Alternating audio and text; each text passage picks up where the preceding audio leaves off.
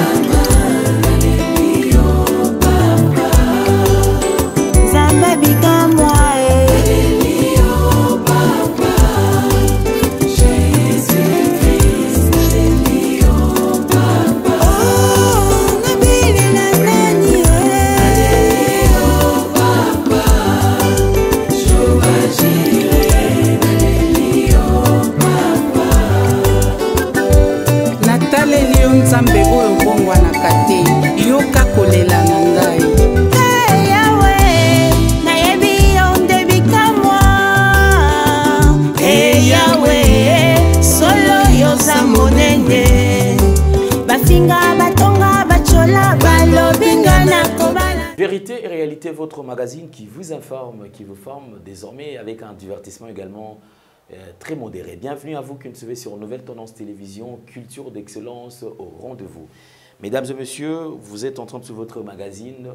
Vérité et Réalité. Bosso Lopé, et Akobika, partout où vous avez l'habitude de nous suivre. Et si vous nous suivez pour la toute première fois et que vous n'êtes pas encore abonné, allez vous abonner rapidement. Et cela, c'est fait euh, gratuitement. Nous prenons le tout premier point, c'est la fondation les au cœur de la nation ainsi que l'orphelinat famille du cœur Christ Rédempteur. À travers cette opération, vous qui êtes sensible au cri de détresse, vous avez besoin de soutenir les orphelins, les démunis, les veuves. Pensez à cette structure et Dieu va tous nous bénir. Prenons les images et on se retrouve juste après. ntango nyonso molinganga nazalaki komona baninganga na baboti na bango nanga baparent baza te vi na nga pasi Est-ce que kokufela baboti eza lisumu? Kozanga baboti est-ce que eza lisumu? Voilà, naye kopesa bino message. L'orphelinat Christ Rédempteur. Eya na posa lisungi na bino. Tala musala munene ezosala pona bana. Tala musala munene ezosala pona bana oyo mokili etiki ebwaki. mais nzambe atelemi na nzela orphelina oyo mpo na koencadre bana oyo yaya lisungi na yo toya nango mposa un euro no toya nango mposa mpo na mwana moko ntango mwana moko alie nzambe ya bitike oyo apermettre ete na nzela no mwana oyo alia akobosana yo te voilà message ya l'orphelina christ rédempteur toa na besoin lisungi na bino banimero eza na se kota contact na biso assistance na yo yo oza lisungi mpo na bana que le dieu des orphelins abénir diama ya motu nyonso ozwi ata likanisi ya kosala quelque chose mpe osali yango nzambe apambola bino Tout le plaisir est le nôtre de partager ce plateau, bien sûr, avec euh, un éminent serviteur de Dieu. C'est un apôtre de ministère. Et pour la toute première fois sur Nouvelle Tendance Télévision, mais ça ne sera pas euh, la première seulement ou la dernière. Il viendra régulièrement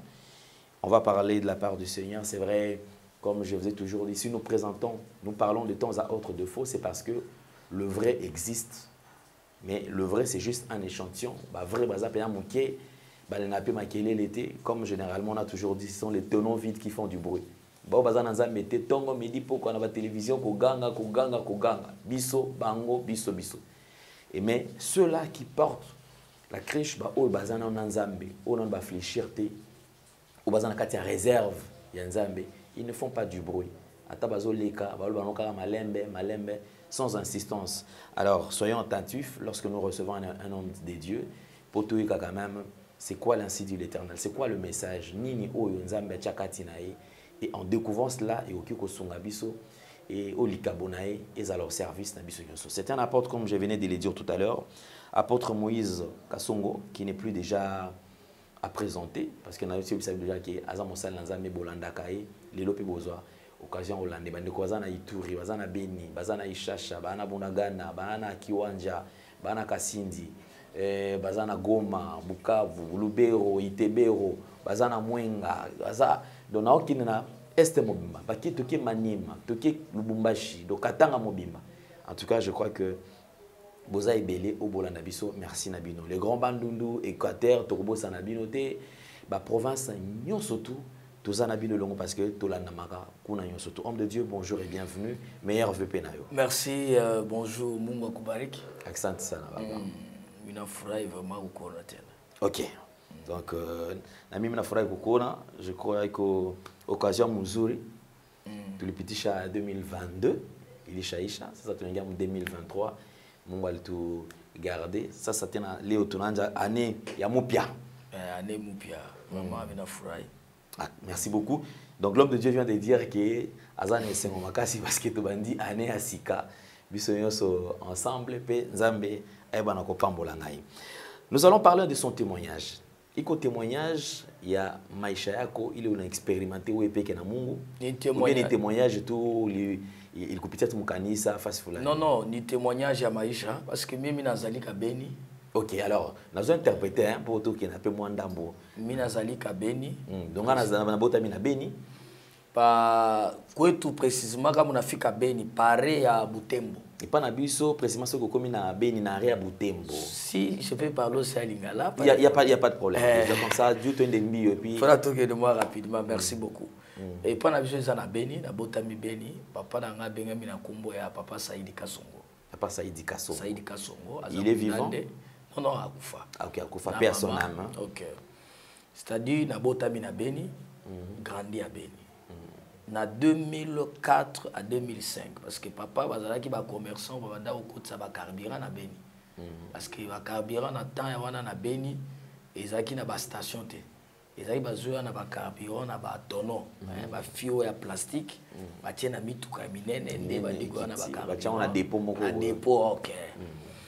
maintenant tozalaki précisement lopango na biso na arrêt wana arrêt babengaka ngo arrêt ya butembo parce que nde place bazwaka mituka kokende butembo parce que beni butembo c'est 30 minutes 130 minutes na mutuka mm. eh,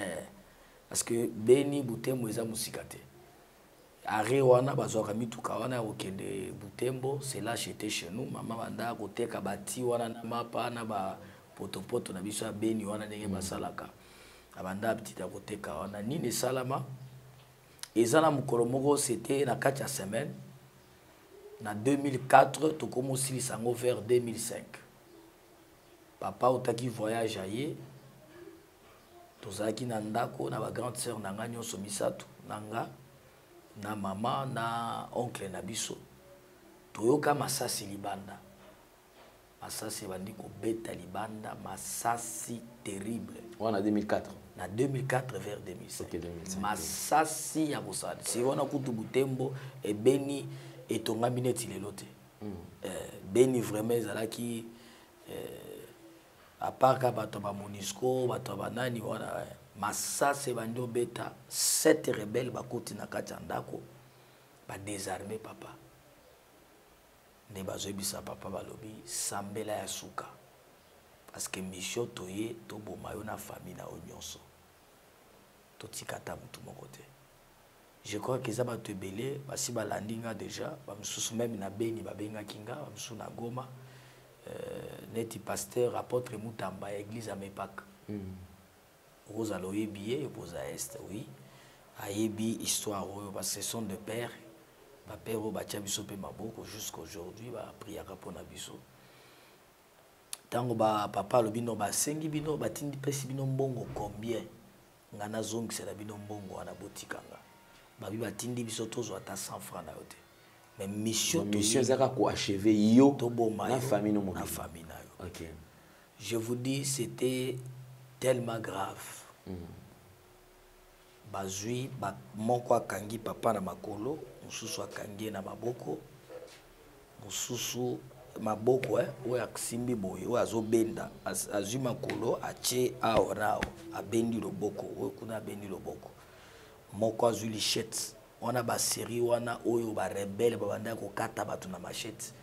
na nzela ko bima butembo vers goma mm, mm. surtout na kiwanza mm. bazwa ba bandi okata mutu ya papa bazo bazo kata mutu ya papa na lichette makile ezo bima bazo kata mutu bazo kata mutu ekomi na niveau biso nyonso tozolela mama piquet crise na ndenge bamonaki bazokata papa mutu bakati bazwi mutu parceke mutu atindaki bango alobaki boyela nga mutu na ye mm. etango basisi kokata ye tous les sept rebelles bango tout babandi koviole mama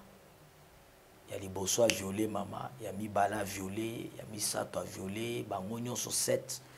après ko violer bazui nzete ba kotisi ye na vagin na vagin bazui ba grande sœur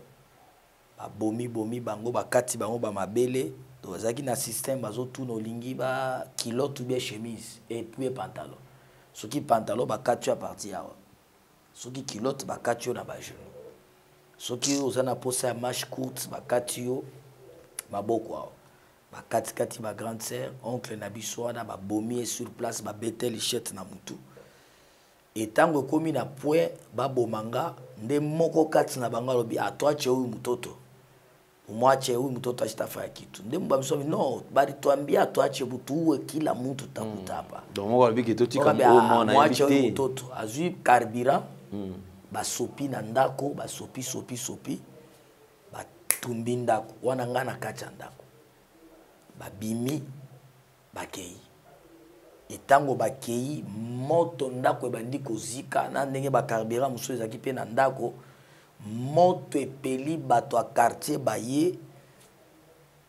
Ba ba chauffeur ya ba moto ba memaka batu de Beni ti Butembo ya ba montar wana ba ye ye ba koti nde ba bimisa nga mais na zika kote moko tango ba bimisi nga batu tout bazalaki na ndako ba zika a part mama nde nzoto ne bimaka parti moko eziki parti moko ebandi komonana ba ndeko mosusu nionso ba zikaka Et histoire wana je sais que panika est mobimba nayebi ke bandeko bazolanda biso na goma eh, bukavu meme ti kampala uganda parce que uganda eza bakote na biso wana ti rwanda bujumbura bato ebele bayebi histoire wana parce que papa azalaki quelqu'un qui, qui était vraiment trop reconnu na mboka ya, ya beni ntango eh, babomi batumbi ndako naye kokende pa ndeko ya papa il était comme son grand frère de kuna nakendaki kovanda et quand je suis arrivé là-bas après moment je commence à passer des moments moko très difficile c'est-à-dire ekomi ere moko osali boye atoka pali komulozi wenjoro uisha babako uisha bazazi yako dekomi neti osali mwa likambo babeti yo oza ndoki yo nde osalaki babomba baboti na yo yo oza ndoki donc je commence à passer des moments moko très difficile très difficile wana baetape nyonso nazoleka nazoyeba te nzoka nde appel ya nzambe ezalaki kati na ngai mm. na baetape nyonso nabandi kolekela eye ko arrive mokolo moko telema grand frère ya papa azalaka moto moko abanda komela mingi soki ameli akolangwa akozonga na ndako ya kolangwa mokolo moko c'était la nuit un certain samedi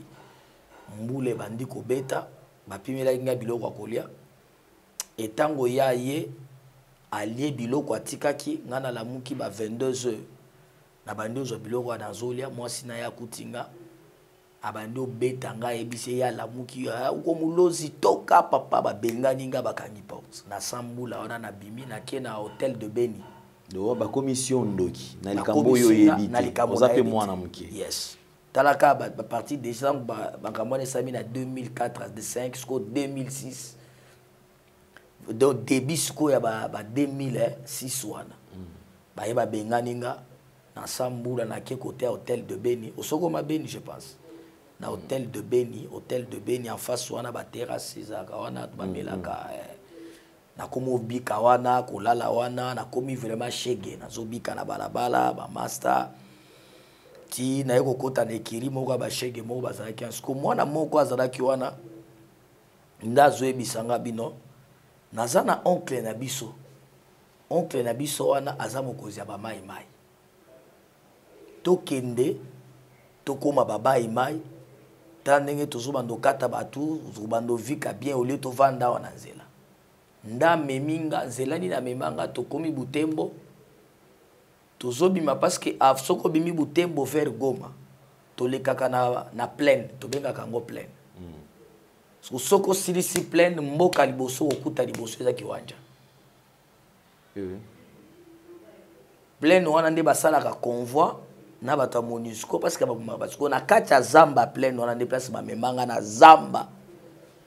nde nakomi alakisi nga oncle nde nakuti bango ebele na zamba oncle na ye azalaki neti nganga ya ba ya ba mai ya troupe wana ba mai eh, mm. parce que ezaki système ya ba groupe ya ba troupe amemi nga wana namoni ayebisi nga longola bilamba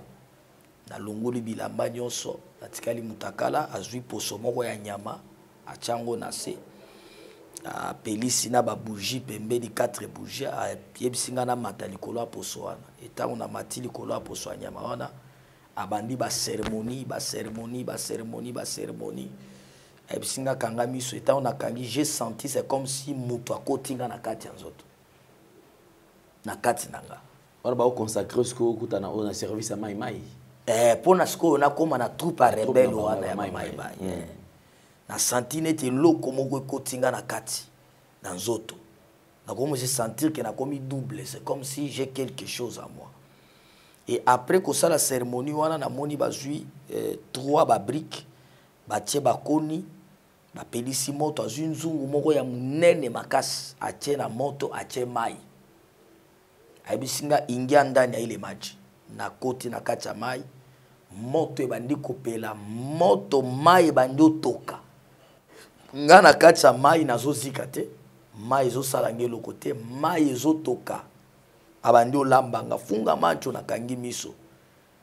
maye toke toke toke toki presque ya presque ba 1 heure à 2 heures du temps ayebisi nga kita akitisi nga nzoto na nga mobimbe nazobimisa milinga azwi lichette abeti nga lichette lichette edendi na nzoto na nga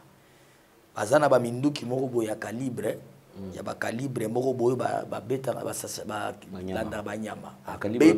eh, abeti nga yango esali nge eloko na nzoto te zadi ni mobangi nazoyoka lisusu te ni somo ndenge ezalaka atake batio ar moyoka somo somo donc nao sentir ke donc kobanga ata ndenge ezalaka ke noko kobanga nazali susu oyo ngai nayebaki te cetadi mm. nakomi motu moko boye nazomiyeba te cetadi nabangaka motu te mobangi eza te somo eza te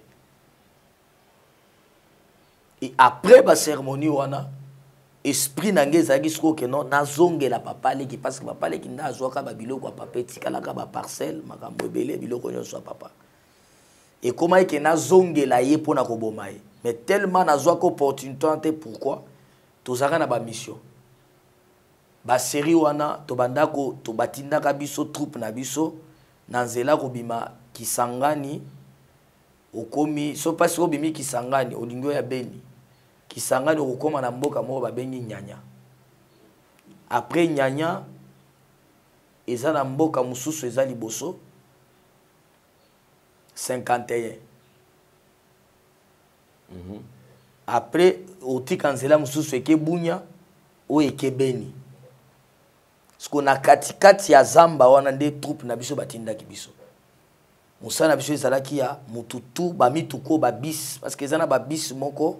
ya baagence moko bazobenga yango la vie est un combat na agence mosusu babengaka ngolcoach tobanda kotelemisa mingi babis na bavoiture bokotelemisa bokitisi bato bobomi ya koboma bobomi kobotola bambongo kozwa basi koviole basi mosusu bokei na bango na zamba na opere biloko wana na bango panda 6 mois Pendant six mois, tozobimela bato na babalabala, kotelemisa mituka, bamisusu baza na masasi, ngai nazalaki na lichette. C'est-à-dire soki nasimbi lichette na maboko, donc soki nakati mutu te, naza à l'aise te. Soki nabomi, tout ça kanda ne bandi koya pourquoi? quand je me rappelle ndenge nini baviola mama na ngai na miso na ngai mm. sept personnes baviole mama bazwi nzete bakotisi ye na vagin papa bazokata ye mutu neti bazokata soso na lichette et à chaque fois na banda ko se souvenir nango na monde na si nakotaki ekomaki soki nasimbi lichette soki nakati namoni makila te nakozala à l'aise te il faut kaka namona makila soki namoni makila nde naza kimia na opere na etape wana 6 mois baye kopesa biso misio moko tozongi beni mm. etango tozongi beni ezalaki na mokonzi moko c'est-à-dire azwaki mwasi ya shefu na biso moko ya barebele siko misio azalaki toboma ye basignale biso azobima auti goma akomi deja butembo azoya beni siko toke na 1 kilo bato bayebi na beni eh, ezalaka na zamba moko ya bilanga donc 1 kilomètre avant okende butembo eza na zamba moko eza na bilanga monene kote wana tobatamaki na kati ya zamba wana soki ekomi neti ba 18 ba heure neti ba 17 e 18 heure ngai nalongoli bilamba nabi nakota na mai moko ezalaki wana liziba nasukola nakoti kaka na mai boye baninga na ngai batikalaki kuna oyo tozalaki na bango na troupe wana nabwaka kaka mai mbala liboso place nazalaki namoni mai echange couleur mai echange couleur mai ekomi neti bacouleur moko tomonaka na bafilme neti moto ezopela neti couleur moko boye sikoyo nayoki mo nayokaka somo te me mokolo wana nayoki somo nalingi na bando okima nayoki makolo ekomi kilo makolo ekomi kilo neti motu moko boye batye nga bakangi nga donc bakangi nga basinga moko boye nakoka kokima te mm. na force physiquement boye ndoto te nangi nakima nazokoka te kokima directement nayoki mongongo ezobenga nga trois fois moïse moïse moïse unajua pourkui milikuacha muzima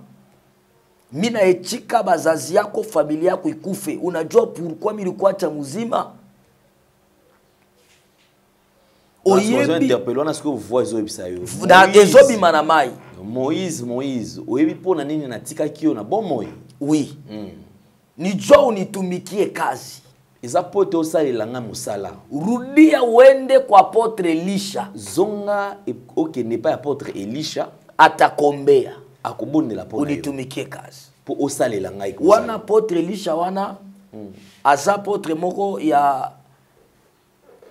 azalaki avec une grande église na beni ayebanaki makasi parce que asakufa mais église yo ozalaka na contact na ye ayebi nga te nayebi ye te mais c'est dieu qui m'avait parlé ya apôtre elisha une recommandation une recommandation na kombo or ezalaki na basala nzambe ya minene na mboka wana bandi kosala baplein basuccès bazotambusa bakoka na beni hmm. soki baye basali bacampagne mais nzambe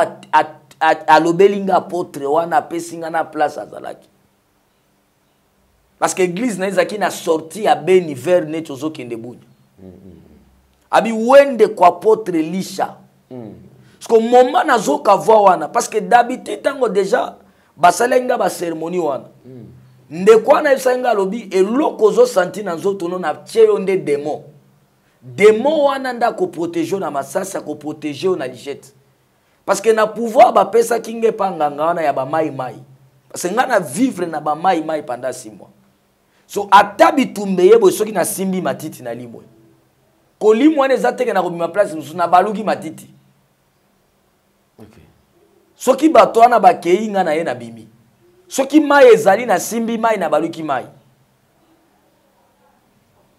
nde kisi ya bamaimai parceke bakatanga banjoloko awa awa awa na awa na mokongo awa na makolo bakataki nga nde baceremonie asalaki nga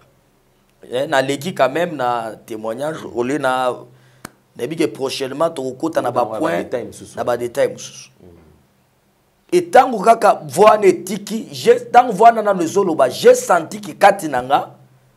ya rien comme pouvoir c'est là où j'avais compris que bible ekosa te o bible ezoloba la présence de l'éternel c'est l'absence totale du diable bible eza na raison place nzambe azo régner diable aza na pouvoir bisika wana te j'ai senti que force nyonso ezali kati na ngai ezalaki neyanti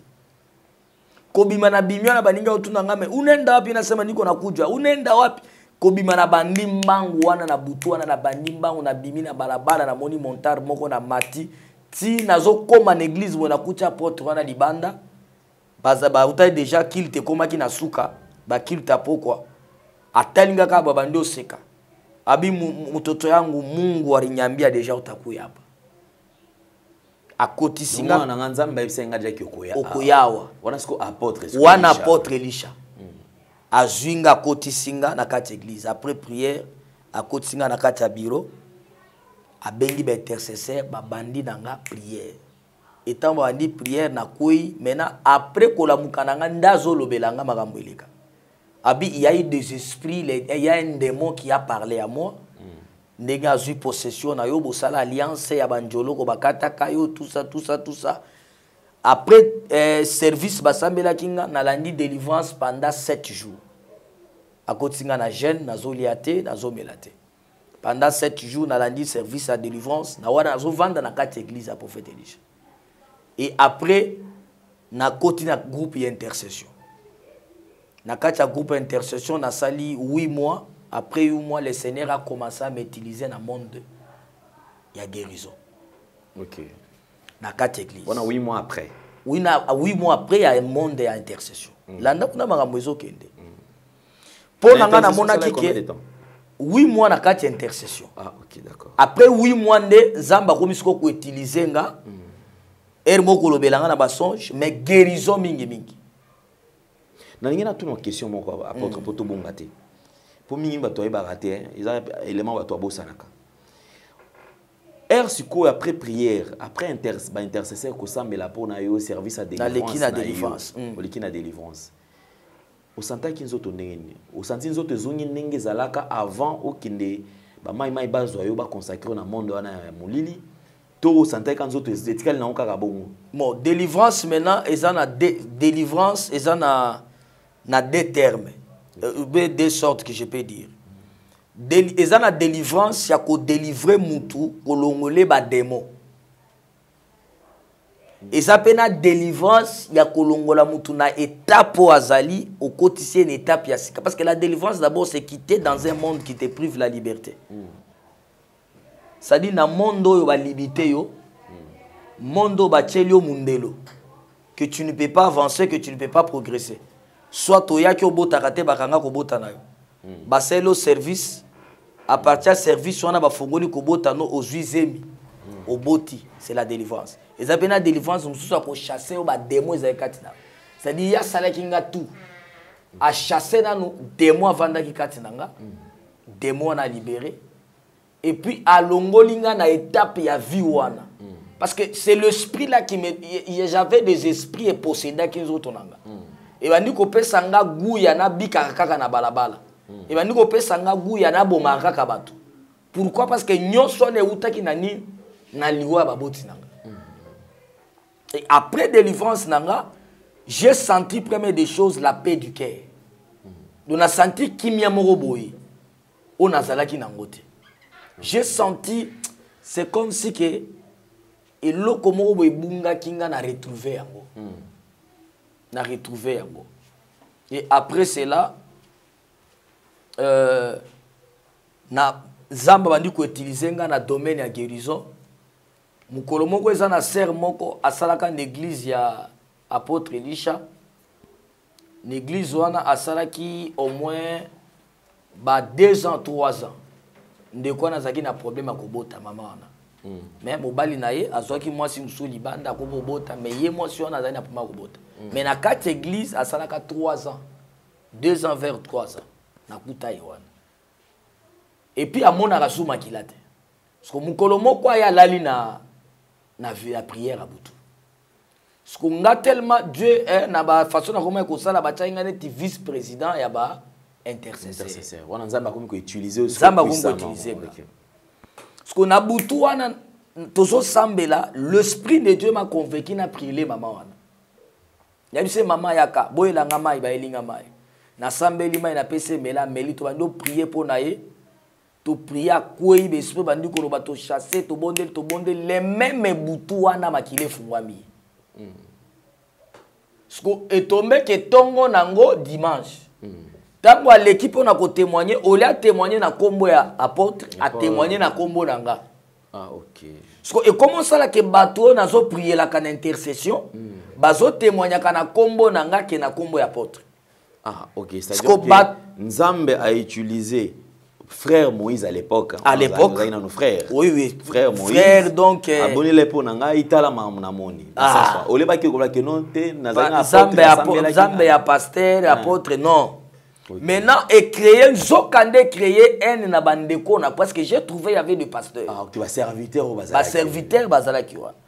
bakomi kointoxique apotre jalousie ekotisi mwana oyo etira tension faut tala bien peut-être kindokina esili nanu te mwana oyo boye boye boye boye l'histoire comme ça ou mutoto e eh, kesho ate sukunyanganya kanisa akoki kobotolo eglise mm. unaona hivi na hivi mambo ya mingi mingi bitumba echange siko forme ye siko na elandi siko na eglise nde kati eglise mm.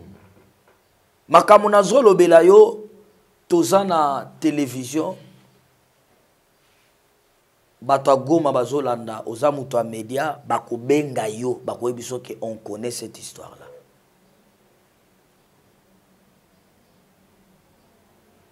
Bayebi histoire. Ekomi na niveau moko na église nasali un mois savon ya kosukola na yango nzoto eza te nasukolaka na omo omo bato bazali na permanence baosukola bilamba ozwi omo ndoki osukoli na yango mai na moto wana ezalaka okozwa mbongo wapi okozwa mbongo wapi bapekisi ngai lisusu nasambelaka bato na intercession te nakomaka toprie kaka bato mosusu badirige nde ndeko moko nasambelaka mpo na ye na eglize wana epa na bango ezalaka na goma ayaka epa mama leki na ye azalaka na probleme ya kokweyaka maladi ya ndeke mm. na pria mpo na ye abanda kokwea par jour ata 4 fois na pria mpo na ye akendani nzoka nde ndeko abika abika akweyaka lisusu te ata kosantire eloko te telema natikalaka na banimero nakomaka na kaye moko nde nameki obenga ya na frère moïse naza na goma boyeboye me biso etala makambo nazovivre koto vraiment nakomomona vomi ekutu kuna nazalaka na mokili nazalaka bien ke na mosala oyo naye kokota oyo o te koloba bongo te yaka na eglize na biso na goma soki okie na eglize na biso paster na biso aza prophète prophète samson juste na na goma yaka atindeli nga transport nakei na kitele epa na bango nakiteli epai na bango kote ya stade mm. eh, kota stade nakiteli epai na bango église ya apotre ya, ya prophète yango samson eza wana parce que prophète yango samson bayebani mingi bayebi ye aye baprofete ebele eza meme na apotre moko mikolo oyo natike na goma il a aussi une grande église soki akolanda mpe émission ya apotre miujiza mm. na goma akepesa yango makasi eh, ayebi kutu bahistware oyo nazoloba ah, okay, okay. eh, donc le prophète en question babengisi nga nakei ayambi nga bien il est ye nde kutu atangisi nga ndenge nini ya komodere ndenge nini ya koteya mm. j'ai fait deux ans nasa makolo na ye nasa makolo na ye okay. maintenant le problème ekoa na goma quand j'ai commencé à evre nakomoteya mpe atangisi nga koteya komodere nzambe akomi koutilize nga na etape ya liberation ya fire je petre je prêche comme ça nalobi par exemple il y a 50 personnes que la puissance va toucher bakoyi mbala moko mipepe bandi koloba nakopiele mutu mutu abiki eglise tellement nakutani na bato ebele siko bapapa ebele omoni na kati ya eglise eza bato nyonso nde babikaka le même jour te parce que bato basalaka erreur L'homme de Dieu peut prier pour toi, mais ce n'est pas lui qui guérit. La guérison dépend de Dieu. La guérison dépend de Dieu. Mm. Parce que bozwaka basala nzambe te bakomi neti nzambe. C'est ça les banganga. Non, juste les bords de son vêtement. Mm. Je serai guéri. Donc pour elle, elle savait que il suffit juste de toucher juste. Non, azali na posa ba tia eloboko te. Mm. nasimba kaka elambaka ye foi na ye ndeke koyiba onction ezali kati ya jesus pourquoi jesus azotuna pierre abi ki batouche Pierre Abi, mais ça c'est quoi ça Tout le monde te touche. Avec cette Abi, foule. Non il y a quelqu'un qui m'a touché. na foi, na kondima ça. Lolenga simbelinga ekeseni na bato mususu. Oh là là. Mm. Vous comprenez Ça dit même ndenge tolekaka boye. Quand tu mm. appelles un homme de Dieu, kobenga te nde tomoni nganga. Benga na kondima ke prier na ye kosala eloko. Mm. ozomona problème siko lelo bato bakomi okomisa bapasteur neti banganga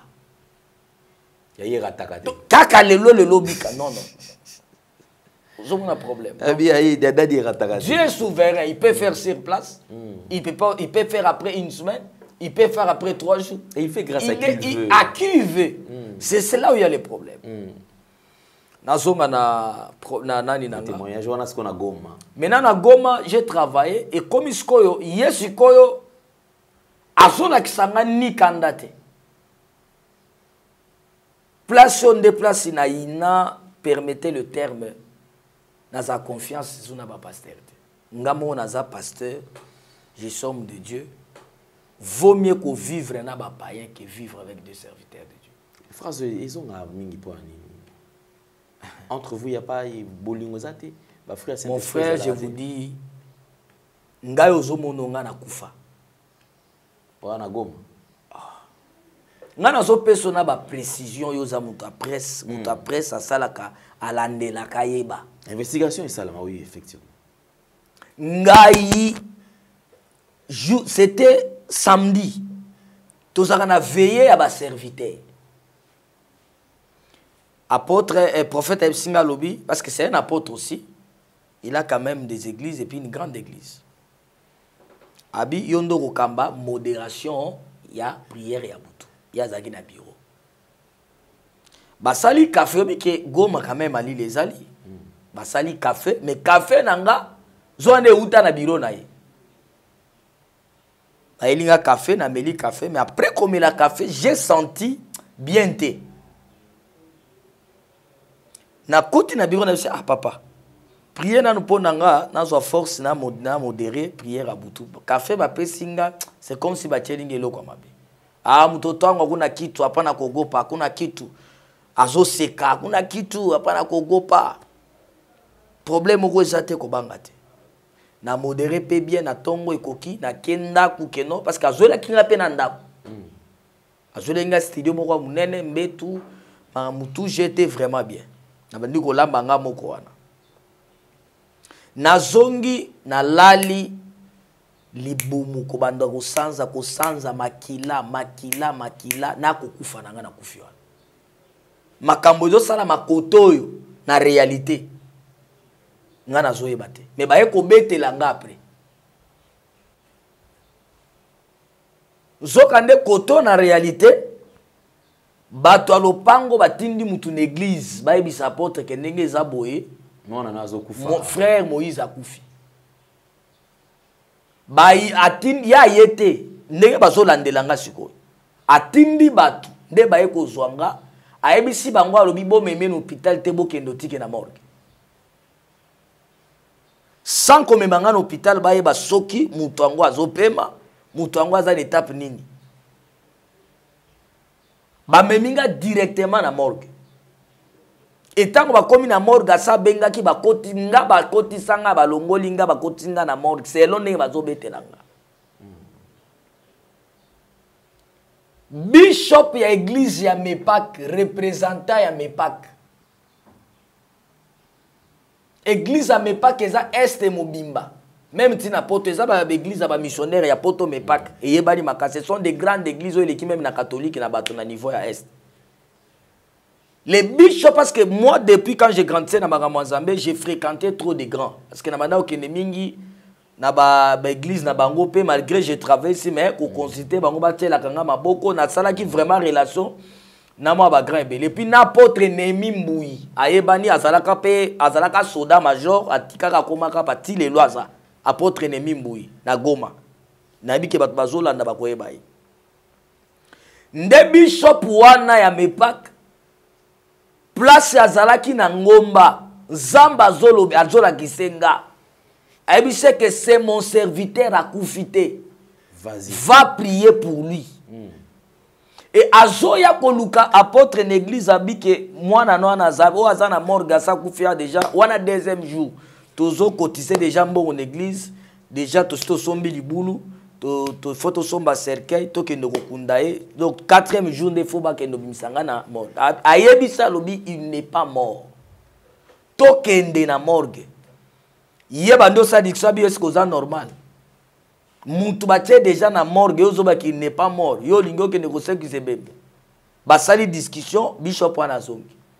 Et ntango azwaki na butu nzambe ayebisi ye sur que oke te moi le seigneur je vais te frapper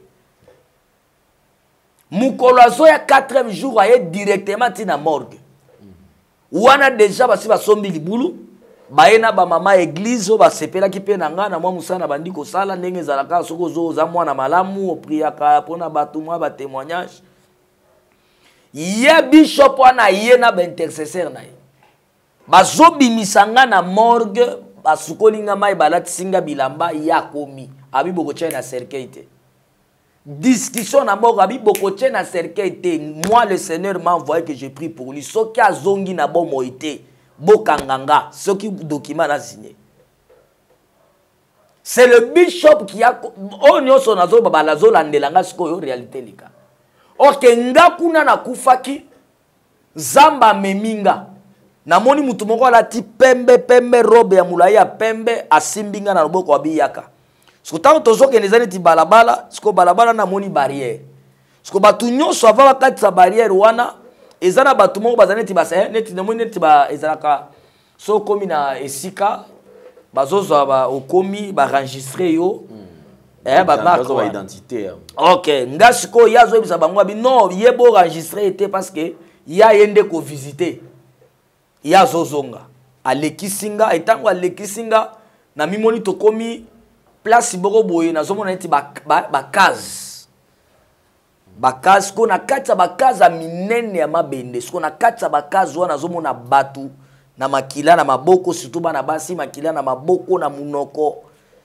sikoyo nazotuna ye na ah, sikoyo baoyo baza na case pourkui bazolela boye makila na munoko abi bato ozomona eza bato bakufa balongolaka bazemi baboma bana baboma bato bisika na bango eza siko bakaze ebele na bato na kati e abandi kotalisa nga je sais que prochainement on va parler sur ça mm. chaque bato bazalaki na bakaze pourkui ntango ba, bakufi bamikuti na bakaze wana alekisi nga aye komema nga na mai oyo bisika nayokaka voi ebenga nga Tango na keyi avant na zwa appel ya nzambe azongi singa na mai wana e tango na zongi singa na mai na moni to zindile na sa mai na moni mboka munene mais ko place to zagi ezali ti salle mais salle moko ezangi suka batu e bele mais ko liboso na moni ti trône moko kiti mwasi moko avandi e mwasi wana na bote moko impossible oyo natikala komona na monde te e tout autour na ye namoni 24 bana basi na ya donc bango nyonso bazobrille otali basi olobi oyo basi oyo batika baexistaka te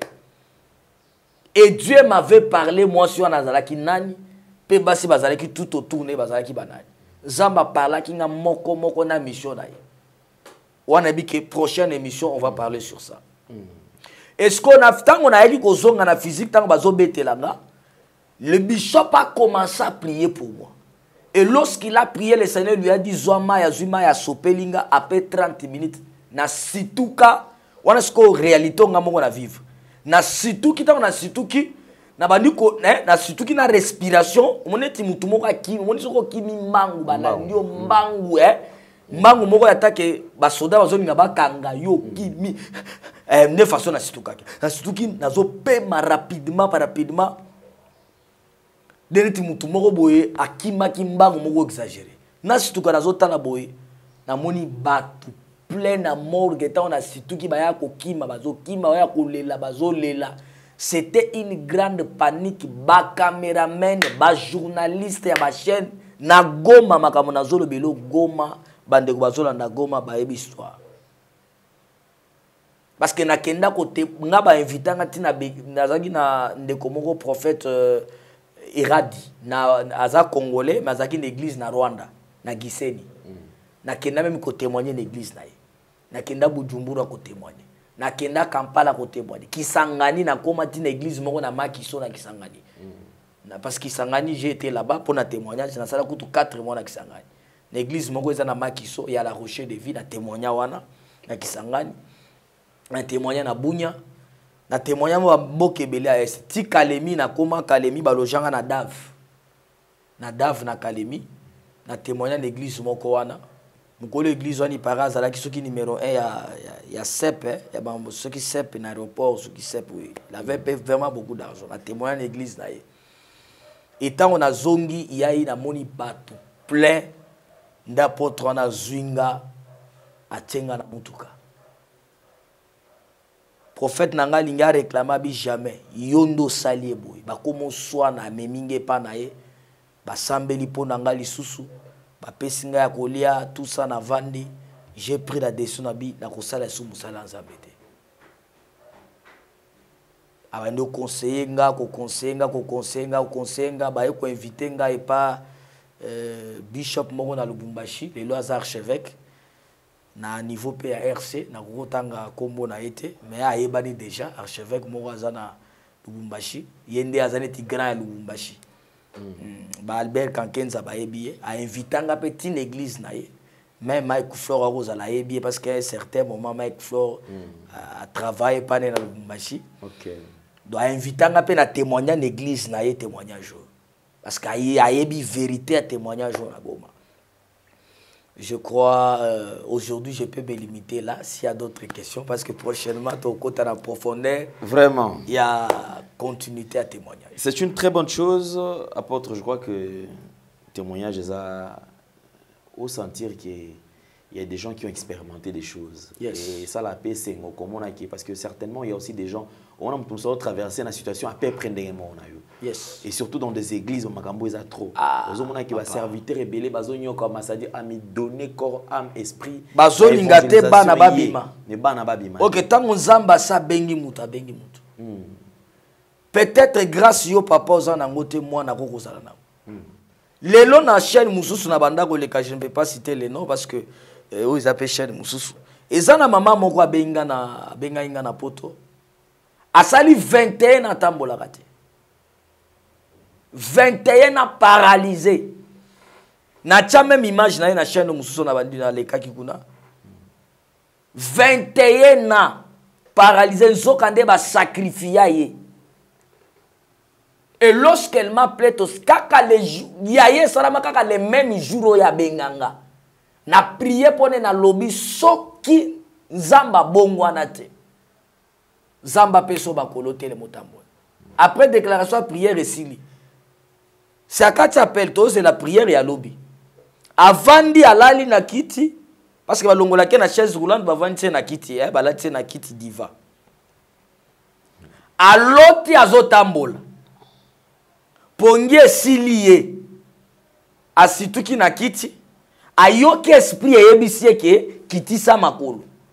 parce que azalaki paralyse ya parti ya loketo ti makolo ayoki esprit elobeli ekitisa makolo akitisi mpe makolo makolo ekiti atelemi mpe mwana azobima na couloir mwana akamwe mama otamboli abandi oganga avant tokóma ba 20 ans na biso ya congo moto atindeli ngai image papa natamboli kaka ndenge osambe donc il y a des choses nzambe azosala meme nga moko elekelaka parce que soki omoni moto azo azoloba ke nga nasalaka miracle seke aza magicien soit aza escro parce que miracle na ndenge esalamaka meme yo moto ozosala yango koyeba te mm. meme yo moto ozosala yango okocomprendre te parce que nzambe azoyebisa ezekiel alobi nzambe amemi ezekiel na molimo alakisi elobwako elobwako wana ezalaki na miku ebele ozo comprendre mm. nzambe ayebisa alobi eske miku oyo ekoki obika ezekiel azoloba nini nzambe nayebi te yo nde oyebi sekre ya miku nzoka nde sekre ya kobika miku ezalaki kaka na monoko ya ezekiele ma ezekiele ayebaki te nde nzambe ayebisi ezekiele bisakola likolo ya mikuwa wana yebisa mikuwa ke nga nzambe nde nalobi cetadire eza biloko mosusu toko okosambela moto ekomeli moto miracle moko esala baside ebiki na poto na ba émission na ngai ebele ya chaîne mosusu ya de témoignage ya bato ya sida ya bato ya bacancer ya bato parce que nalinga kotya ba témoignage ya kongo te moi quand moto abiki na poto ifo nazwa kaka na obligeaka moto avant nasambela mpona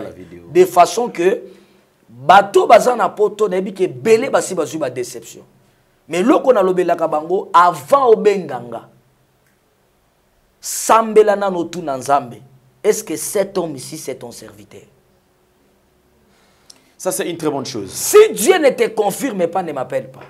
mais si dieu te confirme que je suis son serviteur benganga mpe ezala na kondima mpo komona nini nzambe akosala merci beaucoup nous avons passé très beau moment avec euh, l'apôtre euh, moïse en tout cas apôtre moïse tokomi pratiquement à la fin bato aza na besoin ya kokota en contact na yo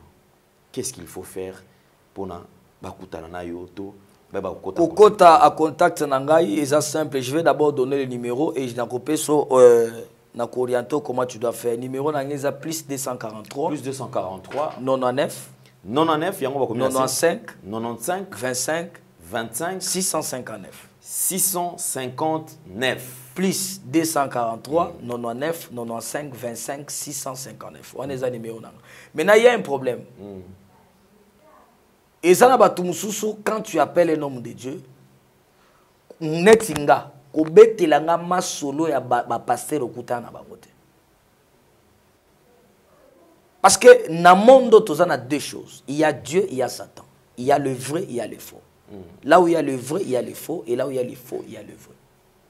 mais avant benganga prends le temps de demander d'abord à dieu est-ce que c'est ton serviteur soki nzambo andimaki baviole mama na nga bakati papa na nga motu bandeko na nga babomi bango nzambo aye kopermetre nakoti na evangile nakanisike na kozwa kimia batieli nga poison nakufi 4 jour nzambo abi fo zonga kaka seke ayebaki ke motu moko akoki obika na mwa grâce moke asalinga ngai nabikisaka motu te me nzambe nde abikisaka nayebi ke priere erépondaka na nyonso que mon dieu vous bénisse merci beaucoup amen Ça, c'est une très bonne chose. Alors, je crois que c'est le tout dernier message au Non, non, c'est tout. Mm. D'accord. Alors, on se retrouve très, très prochainement avec la deuxième partie de cet témoignages. Alors, suggestions, euh, remarques, vous en avez besoin d'assistance, n'hésitez surtout pas. Son numéro est affiché là, au bas de vos postes téléviseurs. Bengae, Kota en contact, il dit bien, tuna nzambe soki nzambe apesi yo accès appelle bosolola merci beaucoup alors prochainement tokozala susu ebele vous avez besoin de le soutenir également parce que moi je suis clair nde balekaka boye ils ont toujours payé omoni que osepeli ah nasepeli na témoignage nayoka na basuite ngai nakozwa deuxième partie en charge nakofutela ye troisième tout ça ça dépend na yo moi je ne te force pas non plus ye mpe alobi mpe makambo yango te alors tokutani prochainement au revoir bye bye